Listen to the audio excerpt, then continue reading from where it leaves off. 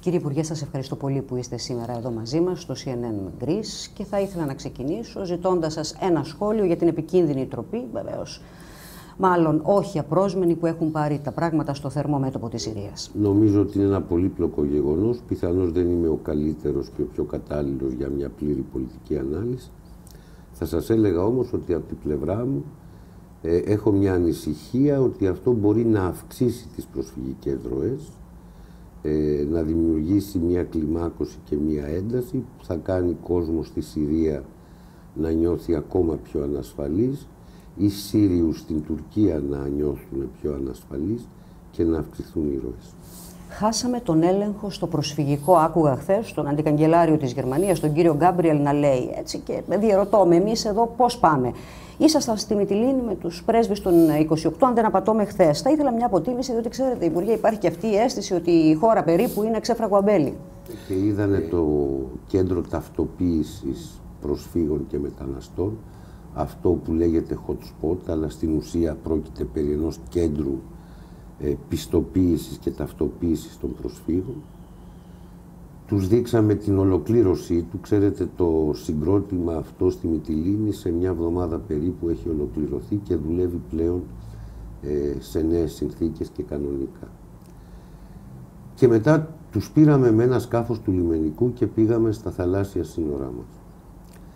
Εκεί λοιπόν στη μέση του πουθενά ε, τους δείξαμε ότι η Τουρκία, οι τουρκικές ακτές από τις ακτές της Μυτιλίνης απέχουν με αυτές τις άπιες βάρκες δύο ώρες και τους θέσαμε μία άσκηση, κάτι σαν σκάκι. Μια Δεν το ήξερα. Βέβαια, θα μου πείτε ότι άλλο είναι να το ξέρεις και άλλο να το βλέπεις. Ποιες ήταν οι αντιδράσεις τους, έτσι τα πρόσωπα, ε, τι σας έλεγαν; Τους μιλήσαμε λοιπόν και τους είπαμε ότι ωραία. Τώρα που είμαστε εδώ, ακριβώς πάνω στη συνοριακή γραμμή, θέλουμε να μας πείτε, τι μας προ... να πείτε και στις κυβερνήσεις σας και να φτιάξετε ένα σχέδιο πώς μπορούμε να... τι μπορούμε να κάνουμε για να υπερασπιστούμε αυτά τα σύνορα. Ερχόντουσαν οι βάρκες, mm. μεταξύ. Οι λύσεις είναι ή σπρώχνουμε τις βάρκες προς τα πίσω που πνίγονται ή σταματάμε τις βάρκες βάζοντας το πολεμικό μας ναυτικό που ξαναπνίγονται. Ή υπερασπιζόμαστε τα σύνορα της Ευρώπης σώζοντας αυτούς τους ανθρώπους μόλις περάσουν στα νερά μας, που είναι τα νερά πια της Ευρωπαϊκής Ένωσης, και βοηθώντας τους να βγουν στη στεριά και εκεί να κάνουμε το διαχωρισμό. Νομίζουμε, και θα φανεί αυτό, ότι έγινε κατανοητό ότι δεν είναι η Ελλάδα ξέφραγο αμπέλι και ότι δεν έχουμε χάσει τον έλεγχο. Αντίθετα.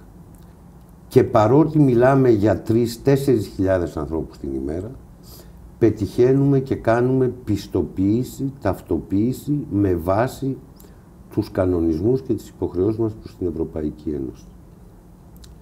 Δεν είμαστε ξέφραγο αμπέλι.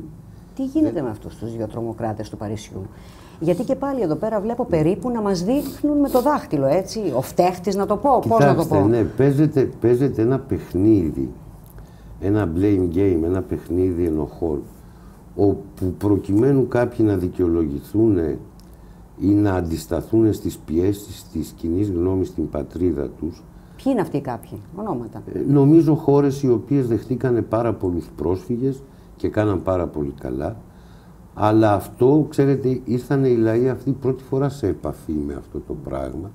Δημιουργεί αντιστάσεις και πρέπει κάπου να δείξουν ότι παίρνουν μέτρα και όλα αυτά και ότι φταίει κάποιος άλλος. Ας πάρουμε αυτό με τους δύο τρομοκράτες. Δύο τελικά ήταν, γιατί έχουμε χάσει και το λογαριασμό. Νομίζω ότι έχουν πιστοποιηθεί δύο οι οποίοι είχαν περάσει από την Ελλάδα. Ε, αυτό είναι μια ερώτηση που μου γίνεται συχνά και μου γίνεται και από συναδέλφους μου υπουργούς μετανάστευσης ή εσωτερικό στο εξωτερικό και στις συσκέψεις που συμμετέχουμε. Τι έχουμε σε αυτό το αποτρόπαιο γεγονός; Έχουμε 8 ανθρώπους οι οποίοι κάναν αυτό το απίστευτο χτύπημα με ντροπή στον πολιτισμό. Οι δύο από αυτούς περάσανε μέσα από τους πρόσφυγες στην Ελλάδα. Αυτοί οι δύο που περάσανε από την Ελλάδα τον Οκτώβριο, η Ελλάδα τους είχε πιστοποιήσει και ταυτοποιήσει πλήρως με βάση τους κανόνες και τις υποχρεώσεις που είχε στην Ευρωπαϊκή Ένωση και στο εθνικό μας δίκαιο. Πού είναι το ξέφραγο αμπέλι. Αυτοί οι δύο άνθρωποι φύγαν από την Ελλάδα. Περάσανε στην ε, Σερβία, ξαναπιστοποιήθηκαν. Και μετά για να πάνε στη Γαλλία έπρεπε, είχαν πέντε πιθανότητες από ποια κράτη θα περάσουν, κάθε φορά από δυο τουλάχιστον κεντρικά ευρωπαϊκά κράτη, ανεπτυγμένα κράτη. Τα έχει τους χάνονται, δεν τους πιστοποίησε κανείς. Είναι η Ελλάδα, ξέφραγο αμπέλης. Δεύτερον, δύο από αυτούς τους τρομοκράτες περάσανε μέσα από το προσφυγικό ρεύμα. Αυτό το να συνδέσει κανείς γραμμικά αυτό το γεγονός με το προσφυγικό και να πει ότι να, οι πρόσφυγες βοηθούν τους τρομοκράτες, αντί να καταλάβει ότι οι πρόσφυγες προσπαθούν να ξεφύγουν από αυτούς, γι' αυτό είναι πρόσφυγες, είναι σαν να με ρωτήσετε, οι υπόλοιποι έξι κύριε Υπουργέ ήταν Γάλλοι και Βέλγοι. Mm. Τι σκοπεύει η Ευρωπαϊκή Ένωση να κάνει για τους Γάλλους και για τους Βέλγους στα αεροδρόμια μας; Είναι ανόητη ερώτηση, συγχωρέστε με.